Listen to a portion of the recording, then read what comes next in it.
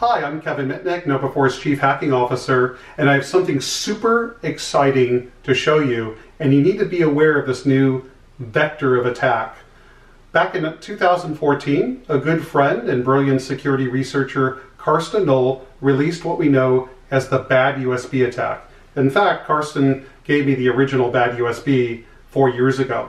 And how this attack worked is the victim would plug this into their computer, and it would become an HID device, which is a keyboard, and then this device would actually inject keystrokes onto the system, and it could do things like download malware and that sort of thing. And this has been around for four years, so it's kind of dated, but security researchers have exploited Karsten's work to do cool things.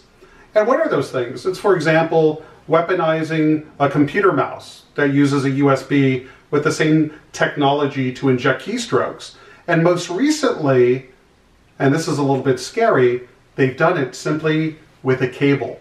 So here we have a micro USB cable. I actually have two others. I have a lightning cable, I have a USB-C to USB-C cable, and it does exactly the same thing.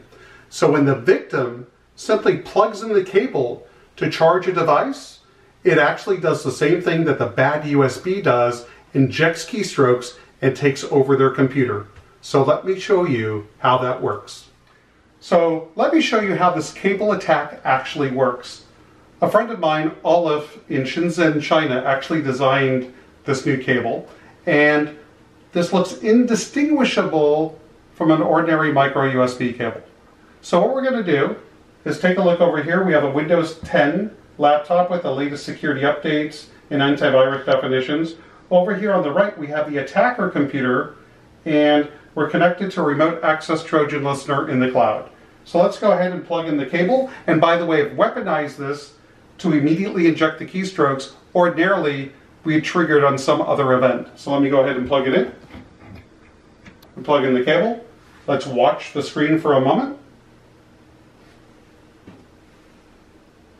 Here we go. The keystrokes are being injected by the cable, or by the technology in the cable.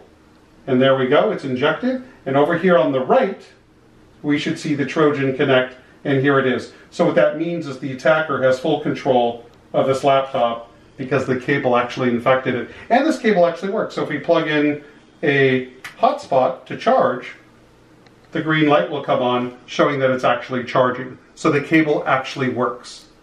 So this is kind of scary because now your enterprise could be affected simply by a malicious cable.